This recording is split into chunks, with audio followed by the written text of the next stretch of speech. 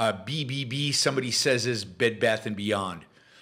I wish, I wish that that would be that would be much better if if uh, if uh, we were talking about uh, 1.7 trillion dollars for Bed Bath and Beyond. Bed Bath and Beyond would allocate 1.7 trillion dollars uh, uh, in the economy better than the Biden administration, for that matter, any political administration could do. All right, you are probably talk about ridiculous. You probably heard that Manchin has basically killed BBB, Build Back Better. He basically told the uh, Sunday shows uh, on TV that he will, he's backing away. He's not negotiating anymore. He was playing tough. He was negotiating. He's told Biden that they could probably cut a deal. And Sunday he said, nah, there's no deal to be cut. I think, I think he basically realizes that West Virginia, the state which he is a senator for, does not support another 1.7 trillion dollars of spending, particularly not of the kind of spending, because 1.7 is cheating. It's much, much, much, much more than 1.7. Because what the bill is full of is, for example, child tax credits for one year. But we all know that those will be extended. But if they only say it's one year, they only quote value it for one year. So only one year of it goes into the 1.7 trillion. But if you assume it's a perpetuity and it's there forever, well, it's much more than 1.7 trillion. And then add to that all the different benefits ex- that expanded and new benefits that all in the bill have sunsets, not because anybody believes that they will sunset, but because in order to get the, the deal somewhat balanced, revenue and expenses, and not to make it be a gazillion dollars, just 1.7 trillion. 1.7 trillion these days is small, is is is, is nothing. Um, they they have these sunsets, but they know that once you establish a social program, in particular, once you establish a social program that benefits the middle class, it's there forever. Nobody is going to not extend a social program that the middle class benefits from. Just ain't happening. So, uh, this bill is actually many trillions, and, and what, what Manchin is, I think what Manchin is basically upset at is they're not treating him nicely. I mean, he said today that, that people in the White House are just not nice to him. I, I mean, it's not that Manchin is some principled advocate for capitalism. It's not that Manchin really objects to the expansion and growth of, uh, of social programs. Uh, it really is the case that for Manchin, this is just a matter of uh, he doesn't want to go to West Virginia and say he increased the deficit by 1.7 trillion. He doesn't want to have to go to um, uh, West Virginia and say he increased taxes. Uh, he's worried about elections, as he should be. West Virginia is a very, very Republican place, and he runs as a Democrat.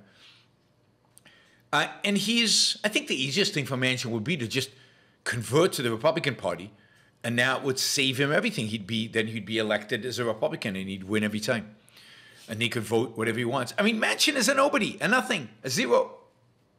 It's not that he has beliefs, but in this case, what the Biden administration with a, with a 50-50 Senate is trying to do is so outrageous, so ridiculous, so off the charts so dishonest that somebody like Manchin, for purely political reason, is calling them on it.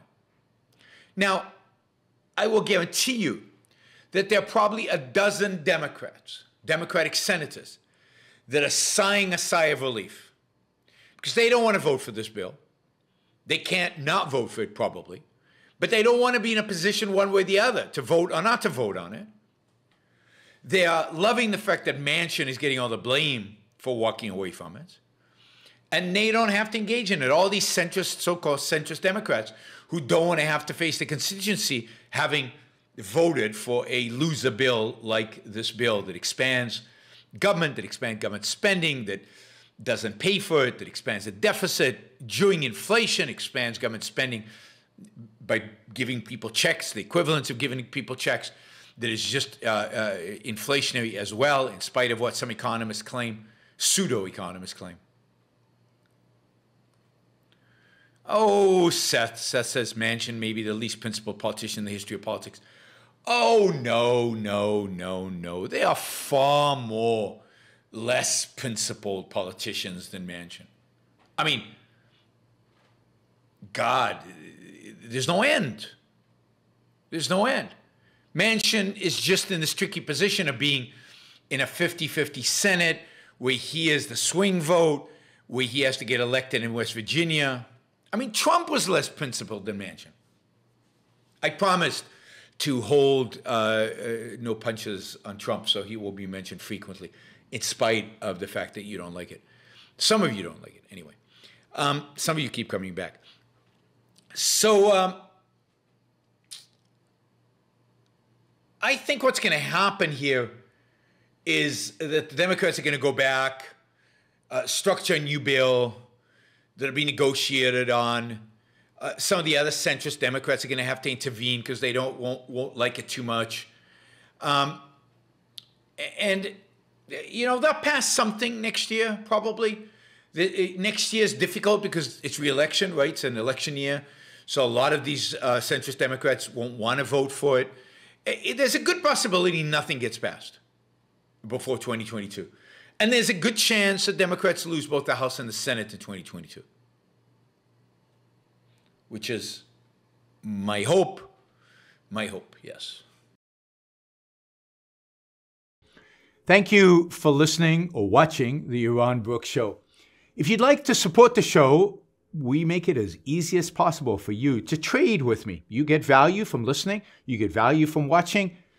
Show your appreciation. You can do that by going to yaronbrookshow.com slash support, by going to Patreon, subscribe Subscribestar, Locals, and just making a appropriate contribution uh, on any one of those uh, any one of those channels. Also, if you'd like to see the Yaron Brook Show grow, please consider sharing our content and, of course, subscribe press that little bell button right down there on YouTube so that you get an announcement when we go live. And for those of you who are already subscribers and those of you who are already supporters of the show, thank you.